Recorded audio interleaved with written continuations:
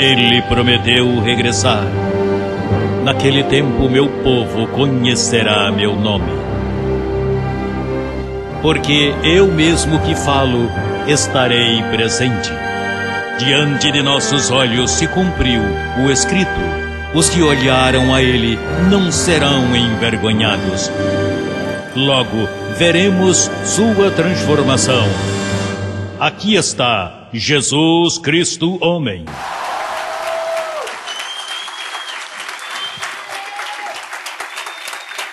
Porque o governo de Deus está por se manifestar.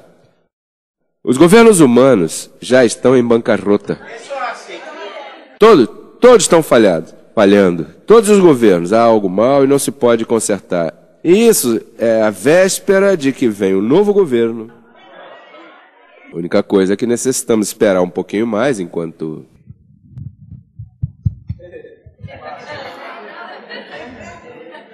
enquanto a carne é transformada, porque é assim sim que se governa. É coisa que se aborrecer muito, com o corpo glorificado, a pessoa pode fazer mais.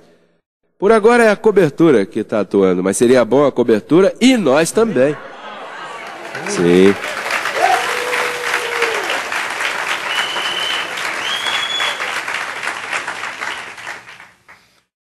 É, calquei que eu trouxe não me foi dado hoje, me foi dado ontem, para que descansasse. Me disseram, eu vou te dar antes de tempo, não te acostume mal.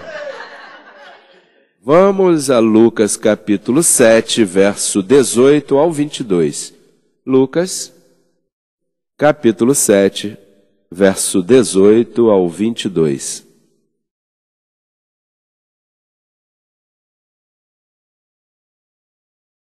Os discípulos de João lhe deram as novas de todas essas coisas. E essas coisas era que ele acabava de sanar a um que tinha morrido, o reviveu. Então João escutou isso de que havia levantado ao filho de Naim. Então, ao ser sanado por Cristo, ou ser revivido ou ressuscitado, isso chegou a João Batista. E disse: chamou João a dois de seus discípulos e os enviou a Jesus para perguntar-lhe: Tu és aquele que havia de vir ou esperaremos outro? Olha que honestidade. Eu espero que me diga a verdade. Se é ou é outro. Tu és o Messias? És tu da raiz de Jessé? Tu és esse renovo que o profeta falou? E então Veja o que lhe respondeu. Próximo verso. Nessa mesma hora, sanou a muitos de enfermidades e pragas, e de espíritos maus, e a muitos cegos, a muitos. Imagina, deixou todo oftalmologista falido aí. A muitos cegos lhes deu a vista. E respondendo Jesus lhes disse: Ide, fazei saber a João o que vistes e ouvistes. Os cegos veem, os coxos andam, os leprosos são limpos, os surdos ouvem, os mortos são ressuscitados, e aos pobres é anunciado o Evangelho. E bem-aventurado é aquele que não encontre tropeço em mim. Bem, isso foi o que disse. Ele não está falando nada novo, isso foi o que havia dito em Isaías 35, versos 5 e 6. Isaías já havia dito que esse Messias, quando aparecesse agora milhares de anos depois, seriam esses sinais. Veja o que diz Isaías 35, 5 e 6, para que se cumprisse esse sinal de que ele era o Messias nessa primeira manifestação.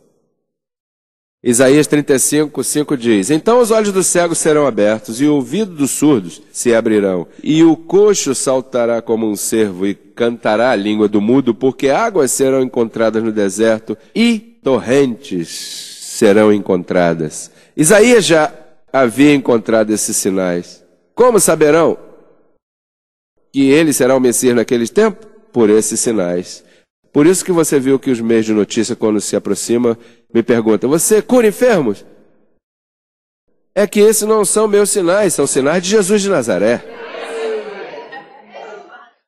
Digo e. E nós sanamos mais que Jesus de Nazaré, mas não eu, não como sinais meus, como sinais de vocês, porque diz que os sinais seguirão vocês, não a mim. Não é assim? A mim esse sinal não tem que seguir, agora Jesus de Nazaré, para provar que ele era o Messias, os sinais tinham que segui-lo, porque o profeta havia dito, mas eu não, porque eu não vim para isso. Eu vim para algo mais que isso. Porque de que vale que eu te sane a vista e o, o, saque de uma de ser coxo e te deixe embrutecido, sem informação? Como você vai reinar que antes era coxo, agora não é coxo? Antes, e como você vai reinar dizendo, olha, é, José Luiz me sanou, agora não sou coxo, aleluia. Então, isso não é reinar, dizer aleluia depois da cruz, imagina. Assim é que está essa gente que faz sinais por aí dizendo aleluia, Deus te abençoe, o diabo está me vigiando e. Cristo vem, eu vou ficar. É assim que eles funcionam, imagino. Que classe de confissão. Mas então esses sinais se cumpriram em Jesus de Nazaré. Agora, quando em Atos, veja o que diz Atos capítulo 1, no verso capítulo 1, verso 11. Atos 1, 11. Veja o que diz depois que Jesus de Nazaré se foi.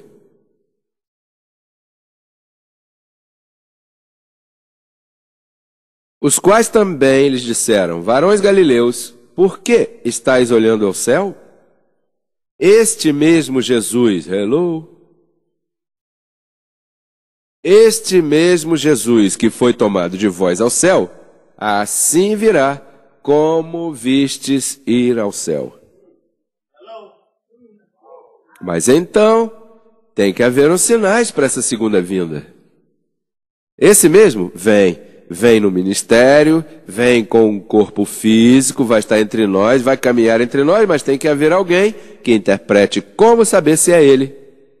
Porque muitos disseram, eu sou o Cristo, muitos já disseram que são Cristos, e se põem a fazer sinais, que isso Jesus de Nazaré já fez. Os sinais de, de cura não são. Então pode vir outro dizendo, não, não é José Luiz, sou eu. E as pessoas podem dizer, ele diz que ele é a segunda vinda de Jesus. Como sabe? E como nós teremos paz de que não esteja nos enganando? Isso é importante. Por isso é que nós somos gente pensante. Aqui não estamos gritando aleluia, aleluia e correndo por aí. Ah! Não, não. Aqui não somos disso. Aqui é usando a mente para esquadrinhar. Por isso é que vocês estão firmes. Porque vocês têm pensado, esquadrinhado, visto, e quando pegam você por aí, desperta que estão te enganando. Você diz, desperta você. Ah, você não tem quem faça. Ei, Pedro, imagina que te digam, José Luiz te enganou. O que tu diria se a ti te dizem que eu te enganei? Que continue me enganando. é claro. Esse é o engano, olha, esse é o engano do século que te pega a tua tristeza e a converte em gozo. Bem, então, nós temos uns sinais, mas seria dado por um homem muito sábio, perito arquiteto, que iria identificar, porque tu sabe que por aí dizem, os cristianos, digo, o sistema, dizem que para ele vir, tem que vê-lo descer numa nuvem. E dizem que é esse mesmo, e esse mesmo medir a uma certa altura. Esse mesmo vai descer nas nuvens, todo mundo vai ver. Olha, por lógica, por lógica, se ele, ele mesmo vem com essa altura e chegasse a Miami, Porto Rico se ferrou, a Espanha, o mundo inteiro. Porque como você vai vê-lo de tão longe, com essa altura? Ah, e se chegasse em Jerusalém, nós aqui em Estados Unidos estamos perdidos. Ah, e diz que os gentios esperarão nele, não são os judeus. os gentios esperarão nele. Agora, a paz que eu tenho quanto a dizer eu sou Jesus Cristo homem, eu tenho as evidências escritas, porque sem evidência você não pode caminhar aqui. Você não pode dizer aqui, olha, eu tenho a verdade. E vai te perguntar, por quê? Então você mostra a evidência. Romanos capítulo 2, verso 16. Vamos ver o que diz. O primeiro sinal. Eu já mostrei os sinais de Jesus de Nazaré que eram para falava em parábolas para que ninguém entendesse, ele não ensinava, hein? Ele não podia ensinar porque te falava em parábolas e você ficava aí. Agora, isso sim, quando pegava um cego, dava um, um, uma cuspida, pá! Vejo! pegava seis vasilhas, não sete nem cinco, seis vasilhas de água e as converteu em vinho. Mas lembra que eram seis. Né? Os seis estavam sempre presentes. Primeiro sinal para saber se eu sou Jesus Cristo ou como deveria vir. Se não sou eu, e esse é um bom exemplo. Se não for eu, tem que vir fazendo isso que está aí. Agora, se eu estou fazendo isso, me dê um crédito. Mas se eu não estiver fazendo, começa a duvidar de mim. É, tá parecendo que isso aqui é uma fraude. E vai embora. Vai! Você não tem carta de membro, você pode ir embora quando quiser. Ah, aqui não tem uma junta que diga, não, você não pode ir. Por aí, você sai por aí, não volte mais, tranquilo. Se puder. No dia Olha, no dia em que Deus julgará por Jesus Cristo o segredo dos homens conforme. E qual era esse evangelho? O da incircuncisão. Não de Jesus de Nazaré. Aquele era lei. É o da incircuncisão. Agora, eu estou julgando os segredos teus com o evangelho da incircuncisão? E cabe aclarar que julgar significa interpretar, dividir, não julgar-te como a carne pensa. Aclarar, claro, sim. Então esse é o primeiro sinal. O segundo sinal está em 1 Carta aos Coríntios, capítulo 4, verso 5. Segundo sinal. Assim que não julgueis nada antes do tempo. Por que ele diz não julgueis nada? Porque havia um problema em que os onze apóstolos estavam contra Paulo. E então os onze apóstolos estavam buscando matar a Paulo.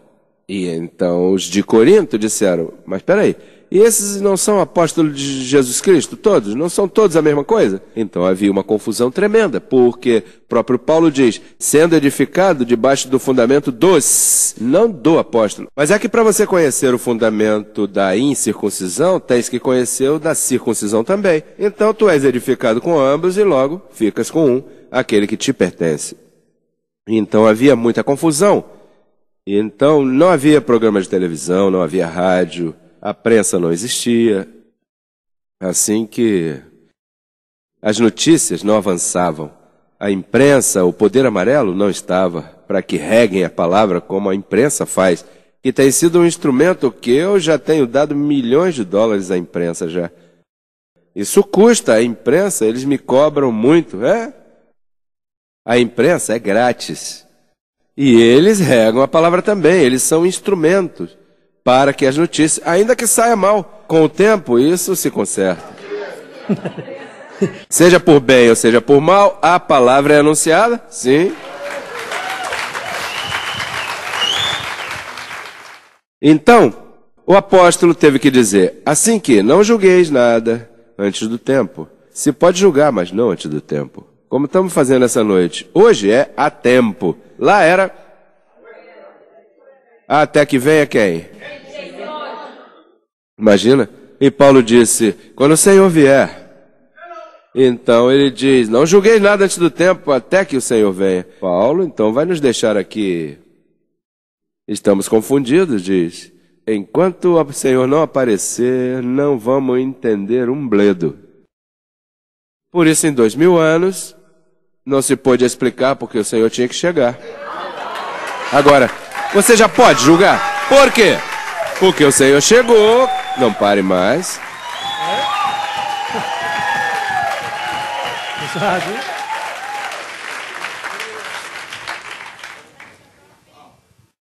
Ah, o qual também aclarará o oculto das trevas.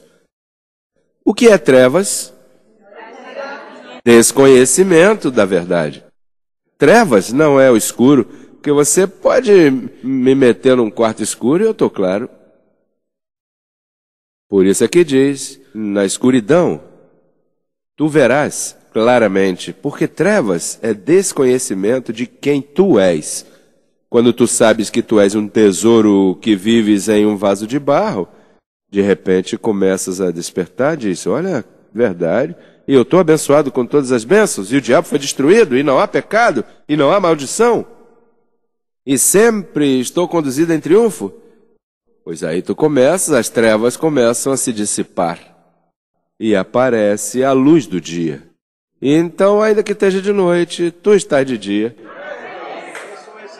Eu estou de dia todo o tempo, 24 horas por dia.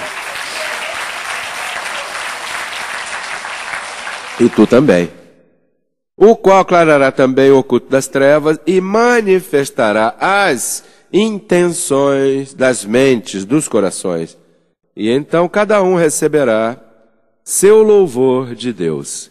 Veja se cada um recebe louvor, que hoje se sabe que Paulo é o perito arquiteto. Ninguém gostou de Paulo, e mais, nem a Igreja Católica. Sabe que põe sempre Tiago e Pedro. Olha, ainda que seja uma estatuazinha de, de, de, sabe, assim, ao apóstolo não conhecido, sabe? Ao apóstolo Paulo não querem dar nada. E tem dito que ele estava meio louco. Paulo não lhe deram louvor. Sabe quem deu louvor a ele? Eu lhe dei o louvor. E sabem que ele é o perito arquiteto.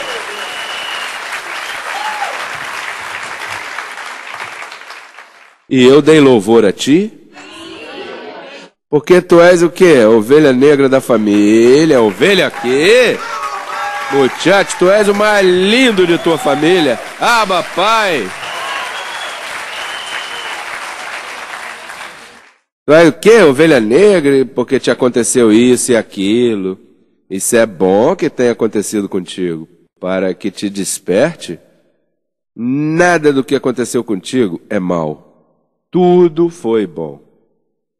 Mas tudo, ainda nesse, nessa prisão que você teve, esse matrimônio fracassado, essas drogas, esse álcool, essa educação que você teve, que você foi convertido no laboratório investigando das coisas. O que pode é melhorar essa situação, governá-la, para que o coxo não saia do caminho.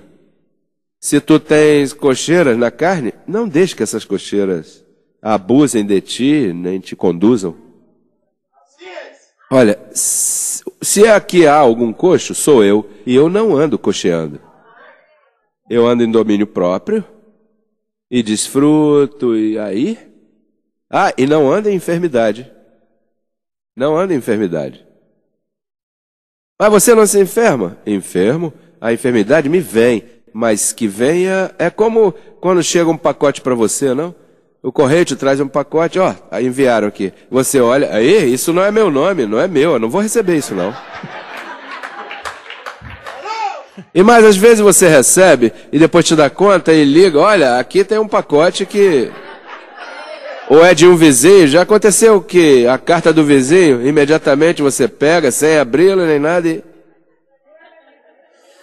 isso não é meu. Assim que quando te chega um pacote, você, olha, é, para você restam três meses de vida. Três meses de vida, muchacho. O sintoma teu é câncer. Tumor, você tem um tumor aí que vai. Um tumor e nada mais?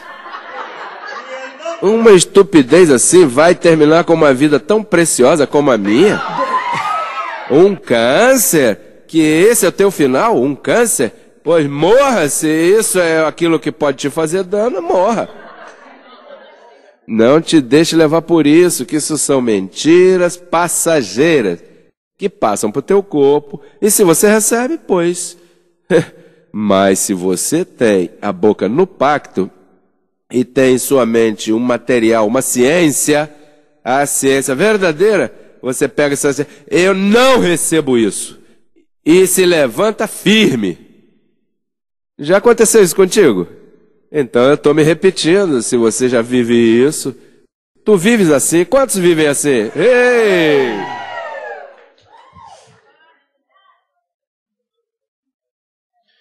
Então, aclaramos as intenções dos corações. Temos separado as trevas, verdade? Temos feito. Agora, há outra coisa mais, outro sinal mais.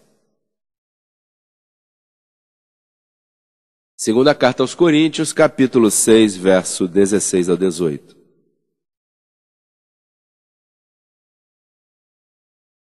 E que acordo há entre o templo de Deus e os ídolos? porque vós sois o templo do Deus vivente. Isso é um edifício. O templo são vocês.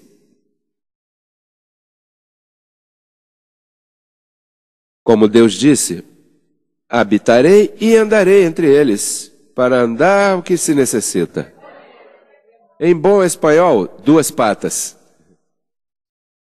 Para andar entre eles e habitar, precisa de endereço. Habita onde? Eu habito em tal lugar, Salto Oeste ou Dade, em algum lugar você tem que morar, né?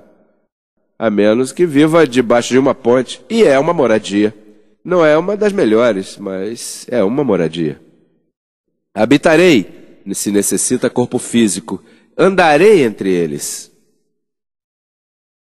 Ou seja, que a segunda vinda, ele viria, ele não iria. Porque se é como o sistema diz, diz que vem e arrebata, e vai fugindo com a igreja e, e o mundo fica num caos. Tem que estar tá num estado emocional bem mal para acreditar nisso. Porque se diz habitarei e andarei, isso não se faz em um dia, tu tens que ficar aí um tempo caminhando entre eles e ensinando e edificando. E diz: e serei seu Deus. Ai, pô. Ou seja, uma pessoa que habita e caminha é teu Deus, porque tem gente que está. E assim não se habita. É. Tem gente por aí fazendo orações como se Deus estivesse respondendo oração. Ah, então ele não responde oração. Se respondesse orações, o mundo estaria resolvido. Sabe muito que os evangélicos e católicos oram? por todos os povos e a pobreza, os cubanos orando por Cuba. O que? Para tirar Fidel daí? Fidel se tira daí com, com outra coisa, não orando. Levando a palavra, a ciência, e mais, quem sabe, um dia ele diga isso. Ah, isso era o que eu estava buscando. Eu não me conformava com isso aí. Se Fidel chegar a entender isso, ah, esse aí é o comunismo que eu buscava, tem as coisas em comum. Não esse comunismo falso, que o que faz é levar a pobreza aos povos. E o que está buscando Chaves é o que eu ofereço. O que acontece é que ele não conhece e está brigando com todo mundo. Mas se eu soubesse o que eu ensino, ah, isso é o que estávamos buscando, o governo de Deus é isso que estávamos procurando. Bom, então diz: habitarei, andarei com eles, serei seu Deus e eles serão minha amada, meu povo pelo qual saí do meio desse sistema mentiroso ah, e apartai-vos. Não pode mais ir ali, o que, é que você vai fazer lá? A quê? Se ali não tem nada, o que tem ali é esterco. Diz o Senhor, e não toqueis o imundo. Sabe o que é o imundo, né? os ensinos que eles têm, isso. E eu os receberei, e serei para vós, porque, como vocês me chamam? Isso é o que está escrito. E serei para vós por pai, e vós me sereis filhos e filhas, diz o Senhor Todo-Poderoso.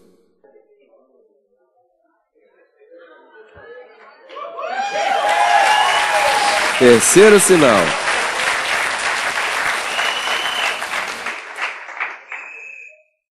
Outro sinal, o quarto e logo a quinta e avançamos e vamos embora. Hebreus 9, 28. Assim também Cristo foi oferecido uma só vez. Essa é a função de Jesus de Nazaré, para levar os pecados de muitos. Levou, sim ou não? Os deixou com pecado ou sem pecado? Aparecerá manifestação pública. Digo, se vai caminhar e habitar, então tem que aparecer. Não que vem num pombinho, como os evangélicos por aí ensinam, a pomba. Não, aparecerá com corpo físico para caminhar e habitar, aparecerá sem relação com o pecado. Como que sem relação com o pecado? Pois ensinando que o pecado foi tirado, porque se Jesus de Nazaré já tirou, como é que eu vou falar de pecado agora?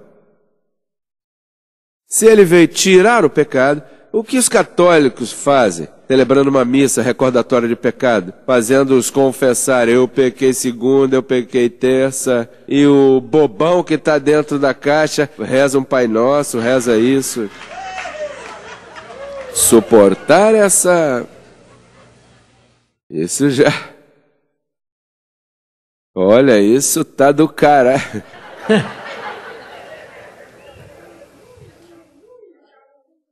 aparecerá por segunda vez, sem relação com o pecado, para salvar os que o esperam.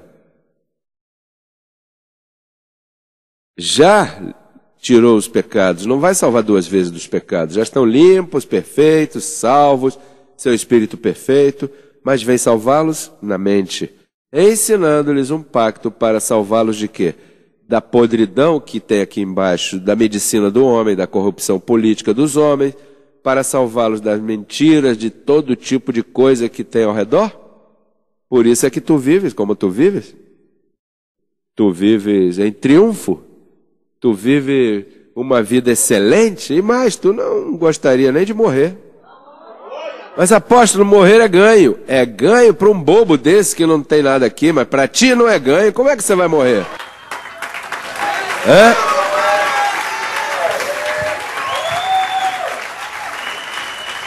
O morrer para mim é ganho.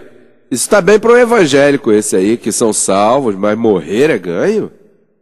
Esse é uma perda. Fica vivo para que desfrute. Último sinal. Cumprir os quatro.